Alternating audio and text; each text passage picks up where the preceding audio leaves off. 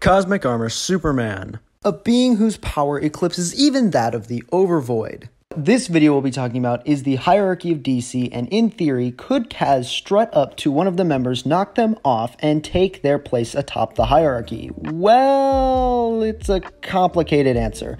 But you know what? Hey, look at that. Shock surprise. A comic topic that isn't complicated video, I will be analyzing the Silver City and determining whether Cosmic Armor Superman could reach the level of, say, Michael Morningstar, Lucifer Morningstar, etc. I do want to preface this by saying that I'm not trying to say that CAS is over someone like Lucifer, however, I will be making an argument that he's on the tier of someone like Michael. Now, I do cover all of CAS's scaling in this video right here. You should go check it out, shameless plug. Much better job of explaining it in that video than I do in this one. I am also aware that by making this video, I can't win. If I say CAS is on the same tier as the Angels, Lucifer fans will get mad and vice versa, so I'm just gonna wing it. Now, to get started with this video, we must first establish that Lucifer Morningstar is greater than Michael. Once we establish that, we can then make the argument for CAS. How do we do this? Well, to put it quickly, first establish how powerful Lucifer's feats are and how strong he is compared to Michael. Let's then establish how much more powerful Lucifer is than Michael. Once we establish that gap between the two archangels, we will then need to compare CAS's feats to Lucifer's feats and decide whether CAS would scale closer to Lucifer than Michael does. Once we differentiate that gap between CAS and Lucifer and Michael and Lucifer, we will have our answer. Alright, let's get started. So thankfully, Lucifer and Michael have actually fought in the past, and although yes, it was close and it was a fairly even fight, Lucifer was still able to take out Michael in the battle.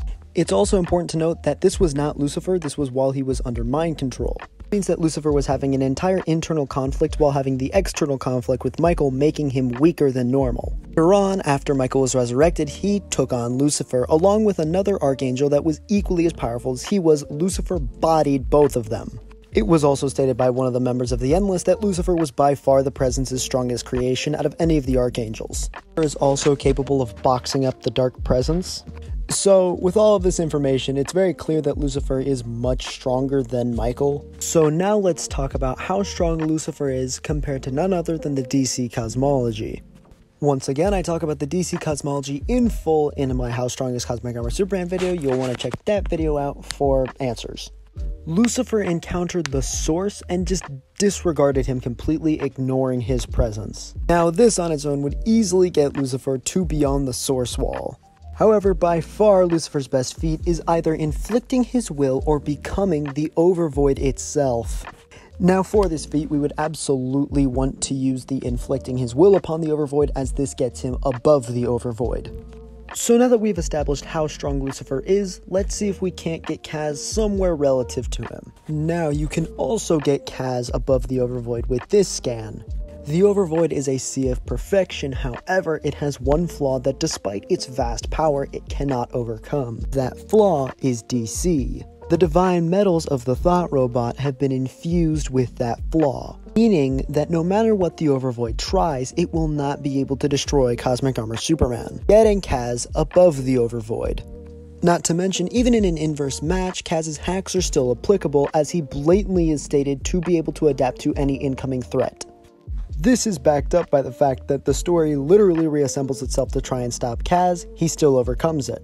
So CAS also has similar scaling to the Overvoid, which is right up there with Lucifer's best feat. Meanwhile, Michael died to a Lucifer that doesn't scale to the Overvoid. I mentioned you could also argue Story Superman number one in DC. I won't argue it though, because y'all aren't ready for that topic. Yet. So, with the same scaling to the Overvoid as Lucifer, I can confidently say that Superman is maybe slightly weaker than or equal to Lucifer, meaning he is definitely stronger than Michael. Well, actually, Cluck, I, I, I think Michael's actually stronger than CAS. Uh, I'm not gonna give my reasoning though. Okay, if you still don't agree with me at this point, we can say, okay, Michael is stronger than CAS in terms of raw physical strength because CAS's hacks are applicable to inverse scaling, he would just adapt. The gap would not be significant enough. So CAS would still be above Michael in this situation. And he would still crack the top three. Hell, you could even make an argument he's above Lucifer with the story of Superman. However, I won't do that. Because this video is already controversial enough, if I make the claim that he's stronger than Lucifer, then y'all are gonna be on my ass. However, that about sums up my reasoning for why CAS is on the same level as Lucifer Morningstar and why he is stronger than Michael. And that about sums up the video. Be sure to like and sub, and I'll catch you guys next time. Peace.